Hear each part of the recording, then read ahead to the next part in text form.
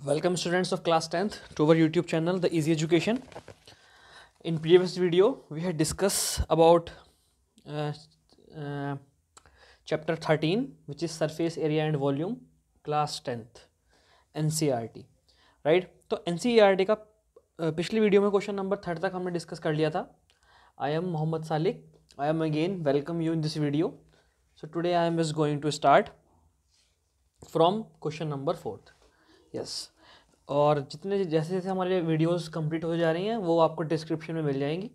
Description में इस chapter की प्लेलिस्ट आपको मिल जाएगी और जैसे जैसे वीडियो आती रहेंगी, वो उसमें ऐड होती रहेंगी। और बाकी और भी चैप्टर्स जो हमने क्लास टेन तक डिस्कवर कंप्लीट कर लिए हैं, वो भी सब उसमें आपको मिल जाएगी। तो आज की वीडियो में हम स्टार्ट करेंगे क्वेश्चन नंबर फोर्थ से। क्वेश्चन नंबर थर्ड तक हमने पिछली वीडियो में कर लिया था। क्वेश्चन नंबर फोर्थ देखिए a cubical block of side seven centimeter is surmounted by hemisphere a cubical block of side 7 centimeter, such like this. इस तरह कोई क्यूबिकल ब्लॉक है सरमाउंटेड बाई हेमिसफेयर मतलब इसके ऊपर कोई हेमिसफेयर रखा हुआ है। इसके ऊपर कोई हेमिसफेयर रखा हुआ है, ध्यान से देखना, इसके ऊपर कोई हेमिसफेयर रखा हुआ है। इसकी एज सेवन सेंटीमीटर है, ये लिखा हुआ। What is the greatest diameter of the hemisphere can have अब जब इसके ऊपर कोई हेमिसफेयर रखा जाएगा, ऐसा करके तो इस हेमिसफेयर के बड़े से बड़ा डायमीटर क्या हो सकता है? छोटा भी रखा जा सकता है, कोई इतना बड़ा भी रखा जा सकता है, लेकिन बड़े से बड़ा क्या रखा जा सकता है? बड़े से बड़ा वो रखा जाएगा जो एज टू एज यहाँ पर टच हो जाए, क्योंकि सरमाउंटेड है। तो बड़े से बड़ा का डायमीटर कितना होगा? जितनी इसकी एज होगी। तो एज कितनी है? सेवन सेंटीमीटर तो बड़े से बड़ा डायमीटर भी सेवन सेंटीमीटर ही हो सकता है, उससे बड़ा नहीं हो सकता। तो एक बात तो ये क्लियर हुई। नेक्स्ट पूछ रहा है find the surface area of solid बस ये लाइन इंपॉर्टेंट है सरफेस एरिया ऑफ़ सॉलिड इसका सरफेस एरिया कैसे निकलेगा, वो बड़ा ध्यान समझिए बात। सरफेस एरिया ऑफ़ सॉलिड का मतलब ये चार फेस आ गए, एक, दो, तीन, चार, और ये बेस आ गई। ठीक? अब इसके ऊपर सरफेस एरिया रखा, इसके ऊपर हेमिसफेयर रखा है तो उसका सरफेस एरिया आ जाएगा ये कर्ड वाला राइट ये कर्ड वाला, उसका हेमिसफेयर आ जाएगा उस पर सरफेस एरिया आ जाएगा कर्ड का। क्लियर लेकिन ये पार्ट ये देखिए ध्यान से, ये ये तो बच गई ना। ये भी तो बच गई, इसका क्या होगा? ये जो पार्ट यहाँ बच गया, ये भी तो लेना है। अब ये कोने मुझे चाहिए। तो मैं क्या काम करूँगा? मैं इस पूरे को ऐड करूँगा। क्योंकि कोनों को तो मेरे पास कोई स्पेसिफिक फार्मूला नहीं है। मैं इस पूरे को ऐड करूँगा, इस पूरे को। जब मैं इस पूरे को ऐड करूँगा तो ये पूरा आ गया। ये चार कोने भी आ गए और ये भी आ गया अंदर का। लेकिन अब मुझे ये नहीं चाहिए। ये नहीं चाहिए। तो मैं area of base of hemisphere को माइनस कर दूँगा। Area of base of hemisphere minus कर दूँगा। बात समझ में आई? अब मैंने क्या काम किया? चार फेस इसके ऐड किए। एक बेस ऐड किया और एक ये भी ऐड किया। इसमें से ये माइनस किया। तो जब मैं चार अलग अलग ऐड करके बेस ऐड करके टॉप ऐड कर रहा हूँ तो मैं क्या काम करूँगा? चार ये बेस और टॉप को कहते हैं टी एस से। तो अब दोबारा से सुनिए लाइन मैं इसका टी एस से, इसके टी एस से मैं कर्व्ड सी एस से ऑफ़ हेमिसफेयर ऐड करूँगा और इसका बेस को सब्ट्रैक्ट कर दूँगा। ये वाला बेस सब्ट्रैक्ट कर दूँगा। बस, हो गया काम खत्म। अब मुझे उसमें क्या चाहिए? साइड चाहिए और आर चाहिए क्योंकि सरफेस एरिया ऑफ़ क्यूब में एज की ज़रूरत पड़ती है। वो एज दे रखी है सेवन सेंटीमीटर और हेमिसफेयर में आर की ज़रूरत पड़ती है। तो आर क्या से मिलेगा? आर हमें मिल गया इसमें। कैसे मिला? क्योंकि उसने बोला डायमीटर क्या होगा? सेवन ही होगा। ग्रेटेस्ट डायमीटर सेवन ही होगा। डायमीटर सेवन है तो रेडियस भी मिल गया R upon two D upon two तो देख लेते हैं क्वेश्चन होगा कैसे। ये देखिए, बहुत ही सिंपल सा ये क्वेश्चन है। Edge of cube seven centimetre diameter कितना होगा? सेवन ही होगा। डायमीटर होगा ए के बराबर। ए कितना था? सेवन डायमीटर से हाथों हाथ रेडियस मैंने निकाल दिया seven upon two main line important होती है, ये वाला वर्क आप बाद में भी कर सकते हो। मेन लाइन इंपॉर्टेंट होती है। मेन लाइन क्या है? Surface area of solid equal to T S A of cube plus C S A of hemisphere T S A मतलब सब कुछ C S A of hemisphere जो ऊपर रखा हुआ है वो minus base of hemisphere base minus करनी पड़ेगी, तभी तो खाली चार कोने बचेंगे ये। बस। टू पाई आर स्क्वायर में से R pi R square minus किया, एक पाई आर स्क्वायर बचा ऐड किया। सॉल्व किया, सॉल्यूशन दे रखा है बहुत सिंप्लीफाइड वे में और ये आपका आंसर आ गया। नेक्स्ट क्वेश्चन, बिल्कुल सिंपल, इसी की तरह पे देखिए ध्यान से। नेक्स्ट क्वेश्चन बहुत ज़्यादा सिंपल है। इस बार क्या बोला उसने? इस बार डायमीटर हेमिसफेयर ऊपर नहीं रखा, अंदर रखा हुआ है। बिल्कुल ऐसे। बिल्कुल ऐसे, अंदर को। बिल्कुल ऐसे, अंदर को क्यूब के। देखिए, ये वाला ये वाला क्वेश्चन अभी था पुराना वाला, ऊपर रखा हुआ है। अब इस बार अंदर रखा हुआ है इसके। तो अंदर रखे या ऊपर रखे एरिया तो, तो नहीं आएगा। अब आप देखिए कहाँ कहाँ आप पेंट कर सकते हैं। पेंट कहाँ कर सकते हैं? चार इस पे बेस पे और अंदर जो उसके एरिया है वो और चार ही है। तो सेम काम होगा बस ये ऊपर को ना होके अंदर को हो गया। पेंट तो नहीं लगेगा पहले ऊपर लग रहा था अब अंदर को लग रहा है। तो ये क्वेश्चन भी बहुत सिंपल है लेकिन इसमें लेंथ वेंथ कुछ नहीं दे रखी क्या दे रखा है? Hemispherical depression cut out from cut out from one face of a cubical wooden block such that the diameter L diameter L है इस बार। डायमीटर एल होगा तो रेडियस एल अपॉइंट टू हो जाएगा। Divide the determine the surface area of remaining solid तो main line मेरी वही होगी, बिल्कुल भी चेंज नहीं आएगा इसके अंदर, क्योंकि सेम सब कुछ एरिया वेरिया सब कुछ सेम है। देखिए, ये फिगर ये सही नहीं है, अंदर को बनेगी ऐसे। ये हो सकती है कुछ। ठीक है, देखिए आगे। Edge of cube L. Edge जो थी, ए, एल थी वो। ए तो होती ही एज का डिनोटेशन एल है इस बार। Determine of sorry diameter of hemisphere L क्योंकि वही डायमीटर होगा। Radius L by two radius को कह दूँगा मैं R L upon two same काम T S C of cube C S C of hemisphere minus area of base of hemisphere same होगा, बस वो ऊपर को ना हो गया नीचे को था, लेकिन पेंट तो उतना ही लगेगा। टू पाई आर स्क्वायर में से पाई आर स्क्वायर माइनस हुआ, पाई आर स्क्वायर आया T S of cube six square, A की वैल्यू पुट करी, आर की वैल्यू पुट करी, सॉल्व करके ये आंसर एल की फॉर्म में। हो सकता है आंसर शीट में आंसर आपका कुछ और हो, लेकिन हमारा ये आंसर सेम है। ये आंसर हमारा यूनिट स्क्वायर। बात समझ में आई? ये आंसर बिल्कुल ठीक है। आंसर शीट में कॉमन नॉमन लेके होगा, कोई बात नहीं, हम यहाँ तक ही छोड़ेंगे, क्योंकि हमें नहीं पता क्या है आंसर शीट में। Okay.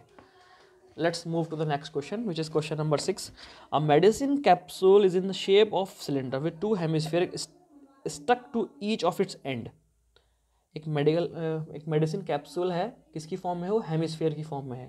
With two hemisphere stuck to each of its end उसके दोनों एंड पे, देखिए फिगर बनी हुई नहीं आएगी, ध्यान से देखिए, ये हेमिसफेयर ये सिलेंडर है। इसके दोनों एंड पे क्या है? हेमिसफेयर स्टक है। एक हेमिसफेयर ये रहा और एक हेमिसफेयर ये रहा। बात समझ में आई? ठीक है। The length of entire capsule is fourteen M पूरे कैप्सूल की लेंथ कितनी है? फोर्टीन एम है। पूरे कैप्सूल की length fourteen M diameter of capsule capsule का डायमीटर फाइव एम है। फाइंड इट्स सरफेस एरिया आपको सरफेस एरिया बताना है। तो सरफेस एरिया कैसा होगा भाई? बड़ा सिंपल है। कैप्सूल का सरफेस एरिया निकालना बड़ा सिंपल है। Surface area of cylindrical portion मतलब curved surface area curved curved surface area of cylindrical portion plus curved surface area of ये plus curved surface area of ये मतलब curved surface area of cylindrical portion plus two into C S of hemispherical portion main line समझ में आ गई? Main line देख लेते हैं. फोकस मेन लाइन पर होना चाहिए. Surface area of capsule curved surface area of cylindrical part plus two into curved surface area hemispherical part hemispherical part C S A का formula two pi R H two into hemisphere का formula two pi R square अब देखना यह है, दोनों का R same है या नहीं है। सेम होगा तो मैं स्मॉल आर ही लूँगा, नहीं होगा तो बड़ा, एक को बड़ा आर एक को छोटा आर ले लूँगा। लेकिन क्या है, इस पर अटैच है बिल्कुल। तो एच टू एच अटैच है तो दोनों का आर सेम ही होगा। तो मैं कुछ नहीं करूँगा, बस मुझे अब क्या चाहिए? आर मैंने कॉमन भी टू बाई आर मैंने कॉमन ले लिया। अब मुझे एच चाहिए और आर चाहिए। मेरा क्वेश्चन सॉल्व हो जाएगा। अब देख लेते हैं मेन काम क्या करेंगे? मेन मेन मेन काम हो चुका अब देखते हैं क्या डायमीटर फाइव है तो रेडियस कितना होगा? Two point five. अब पूरे की हाइट दे रखी है फोर्टीन एम mm. पूरे की हाइट दे रखी है। और हमारी जो हाइट है, वो ये है। सिलेंडर की हाइट सिर्फ़ इतनी है। तो फोर्टीन में से ढाई यहाँ से माइनस होगा। ढाई यहाँ से माइनस होगा तो क्या बचेगी? फोर्टीन में से ढाई यहाँ से माइनस, ढाई यहाँ से माइनस, फोर्टीन में से पाँच माइनस, ढाई ढाई, पाँच, नाइन मीटर हो गई मेरी height. Height of cylindrical portion, nine. H मिल गया आर मिल गया वैल्यू पुट कर दी और सॉल्व कर दिया। आंसर मेरा आ गया सॉल्व होने के बाद टू ट्वेंटी सेंटीमीटर स्क्वायर बहुत ही ज़्यादा सिंपल क्वेश्चन था। सबसे पहले फिगर बनाएँगे। फिगर बनाने के बाद मेन लाइन लिखेंगे। मेन लाइन लिखने के बाद आर आर लिखेंगे। छोटा आर बड़ा क्या कुछ करना है या नहीं करना चेंज अब फाइनल जो हो जाएगा, वो उसके जो वेरिएबल्स हैं आर एच एल जो भी है, वो ऊपर निकाल के रख देंगे। यह है सिंपल सा फॉर्मेट हर क्वेश्चन का। नेक्स्ट क्वेश्चन देखते हैं। Question number seven a tent is in the shape of cylinder surmounted by a conical top cylinder की शेप में कौन है? सरमाउंटेड बाई कॉनिकल टॉप उसके ऊपर कॉनिकल टॉप है। ठीक सिलेंडर की शेप में लाइक सर्कस सिलेंडर की शेप में है, उसके ऊपर कॉनिकल टॉप है। हाइट और डायमीटर सिलेंड्रिकल पार्ट की हाइट ये रही डायमीटर ये रहा। कॉनिकल पार्ट की स्लेंट हाइट ये रही। आपको बताना है एरिया ऑफ़ कैनवस कितना एरिया लगेगा उसमें? तो ध्यान से देखिए कितना एरिया लगेगा। टेंट बनाने में। कितना कैनवस लगेगा? कितना कैनवस लगेगा इतना उसका एरिया होगा? कहाँ कहाँ ये कैनवस यूज़ हुआ? सी एस से? तो कर्व पे यूज़ हुआ पूरा। और उसके टॉप कोनिकल टॉप था वहाँ यूज़ हुआ। तो एरिया ऑफ़ कैनवस हो गया C S A of tent plus C S A of cylindrical part plus C S A of hemi conical point part उसके बाद पूछा इसने also find the cost of canvas canvas की cost बताओ। अगर 500 पर मीटर स्क्वायर है तो जो एरिया है उसकी 500 से मल्टीप्लाई कर दो, आगे आंसर तो देख लेते हैं क्वेश्चन कैसे होगा। सबसे पहले फिगर मैंने आपको बताया, सबसे पहले फिगर बनेगी, ये बन गई figure conical cylindrical portion surmounted by conical top main line सबसे पहले फिगर बनाने के बाद main line area of canvas होगा C S of cylindrical part plus C S of conical part C S of cylindrical part two pi R H C S of conical part pi R L ये फॉर्मूले आपको याद होने चाहिए। R same ही होगा क्योंकि अटैच है। अब मुझे आर चाहिए एच चाहिए एल चाहिए क्वेश्चन सॉल्व हाइट दे रखी है एच मिल गया. डायमीटर से रेडियस मिल गया. स्लेंट हाइट भी दे रखी है. आर मिल गया एच मिल गया एल मिल गया. वैल्यू पुट करी. Answer forty four metre square मुझे एरिया कैनवास का एरिया है. कॉस्ट फोर्टी फोर की मल्टीप्लाई कर देंगे. Cost of canvas five hundred into forty four rupees twenty two zero zero zero twenty two thousand मेरा answer आया. बहुत ही सिंपल सा क्वेश्चन था। नेक्स्ट क्वेश्चन देख लेते हैं। Question number eight from a solid cylinder whose height twenty two point four centimetre एक सॉलिड सिलेंडर है बता लेता हूँ। एक सॉलिड सिलेंडर है, जिसकी हाइट दे रखी है डायमीटर भी दे रखा है। A conical cavity of the same height and same diameter hollowed out इसके अंदर से कॉनिकल कैविटी कट करी सेम हाइट और सेम डायमीटर की। मतलब इतना एरिया बाहर निकाल दिया। इसमें गड्ढा हो गया अब कौन? जैसे कि इसमें गड्ढा है ना स्फेरिकल फॉर्म में, ऐसे ही यहाँ पर गड्ढा हो गया कौन की फॉर्म में। अब कोनिकल कैविटी का मतलब कॉनिकल की फॉर्म में डिप्रेशन बात समझ में आई? अब ये पूछ रहा है टोटल सरफेस एरिया अब बहुत ध्यान से देखो टोटल सरफेस एरिया के लिए हम देखेंगे, हमें यहाँ कहाँ कहाँ हम पेंट कर सकते हैं। तो पेंट कहाँ कहाँ कर सकते हैं हम? देखिए सपोज़ दैट एग्ज़ाम्पल के लिए मैं आपको दिखा देता हूँ कुछ।